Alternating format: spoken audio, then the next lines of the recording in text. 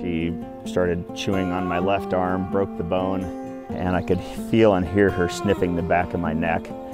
And that was probably the eeriest part of the whole thing, was just knowing that her mouth was just inches away from my spine.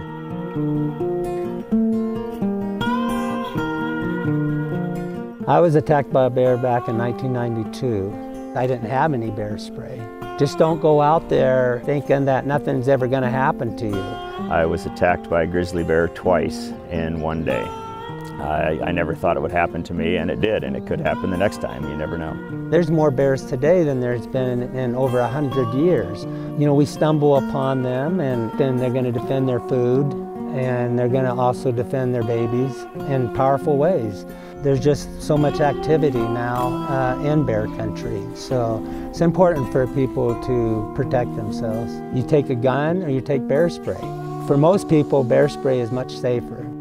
Bear spray at least has a chance of it inhaling that and taking into its sinus cavities and its lungs and deterring that bear better than a gun. I've actually looked at a grizzly bear skull and the shape of that skull that can deflect a bullet from almost any angle. It may wound it, but it doesn't necessarily mean it's going to stop the attack. I really think the bear spray is your better bet and gun is the last resort.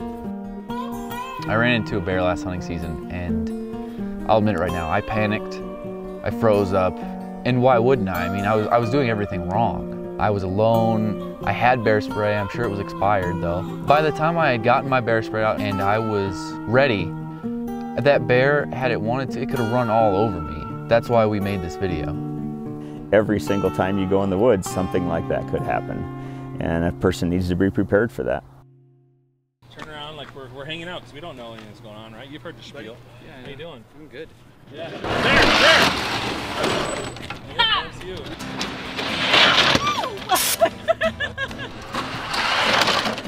you start hearing that noise and you, you want to have it ready. And, got the got the safety off the first time, but didn't hit the spray. So it's there's a lot to be said for muscle memory for that. You really need to train yourself to use this stuff.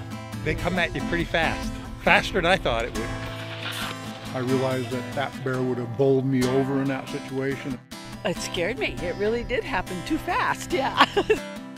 it's pretty intense, it's pretty quick, and even though it's like a dummy, you, you know it's a dummy, There you go. Awesome job. That practice pulling it from the holster, practice pulling the safety clip. It's like the more you practice it, the more you think about it, the better chance you're going to have of doing it properly, of not panicking in a, an attack situation.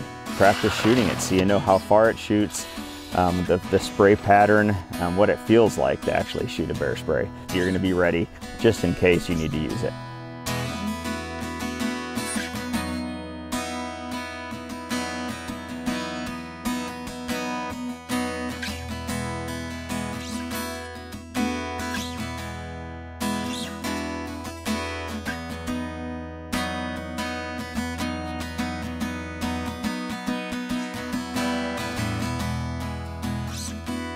This video is in, in no way meant to scare people. Bears can be frightening, they're smart, they're impressively strong, and they, they really deserve our respect. I still want to enjoy the wilderness and what Montana offers because there's so much incredible beauty here. This is a beautiful place. There's some great things to do out there. Beautiful country, beautiful animals. Just be prepared and know what you could get into. I don't want to scare anybody away. Get out there and enjoy your life.